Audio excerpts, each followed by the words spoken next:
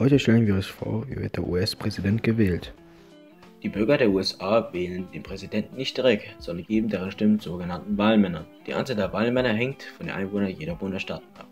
Aus Kalifornien kommen 55 Wahlmännern und bei Wyoming nur 3. Dabei gilt die Regel The Winner Take It All, also damit wird gemeint, wer die meisten Wahlmänner in einem Bundesstaat hat, bekommt die restlichen Wahlmänner des Bundesstaaten. Die meisten Bundesstaaten sind politisch traditionell festgelegt. So ist der Staat New York bei den Demokraten und Texas bei den Republikanern. Aber bei anderen Staaten wie Swing States ist es anders, denn dort verwenden die Wahlwähler meistens viel Geld und Zeit, um dort deren Stimme zu bekommen. Die Wahlmänner aus jedem Bundesstaat bilden Electoral College.